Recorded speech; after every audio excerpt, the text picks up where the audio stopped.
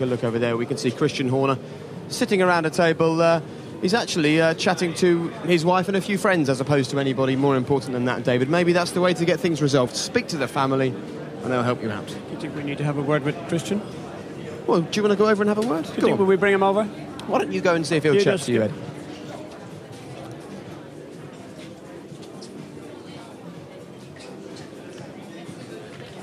The great British public would like to speak to you. Are you going to come and join us? Go on then. Come on. We know you looked so grim and gruesome before the start of qualifying. Surely first and second on the grid has sort of changed that perspective just a little bit. Come on, you see, no, break into a smile for us. Come on. Absolutely. No, it's been a uh, been a busy day today, so um, it was nice to get actually into the Grand Prix weekend, and I spent most of the weekend with Charlie Whiting. Yeah. We've just heard that we believe that this directive is going to disappear and the cars will return to their Valencia spec after this weekend, Christian. If indeed that is the case, what a strange, difficult, and disappointing thing to happen this weekend to overshadow, you know, what was an interesting qualifying session in the rain and what is a great homecoming for Formula One to the new Silverstone.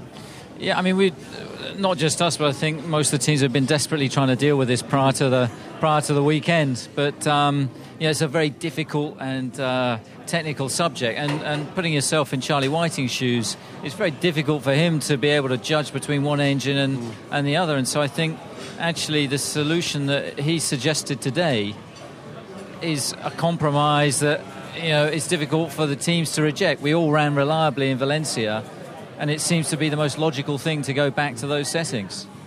I suppose you also have to spare a thought, though, for the FIA that the teams will exploit and push the envelope as far as possible. Obviously, it will sometimes get to a point where the FIA aren't happy. They need to be able to do something. They can't have their hands cuffed until the end of the season and then say, oh, from next year we'll sort that out. So, what, what is the way going forward to make sure this doesn't happen again? I think clear regulations. I think the biggest problem with this is effectively you're looking at a rule change mid-season. Now, when you design your car at the beginning of the year, you enter the championship under a set of technical regulations, and I think they've they've managed to get themselves into a little bit of a, a pickle over this mm.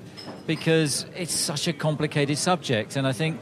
With where the exhausts are on these cars, it, it has a it has a fu- huge knock-on effect, and effectively we're running here in a in a mode that isn't optimized to our gear shift strategy, to our reliability, and obviously the additional benefits that you see from the exhaust blowing. So we've accepted that for this weekend on the basis that it will be addressed, you know, in time for Nürburgring. Okay, well, that's the rather disappointing and very technical aspect of this weekend. The good news about this weekend, and the reason why Christian will smile when I say this, and the reason why that there is a buzz in here, is because Mark Webber is on pole position for this race.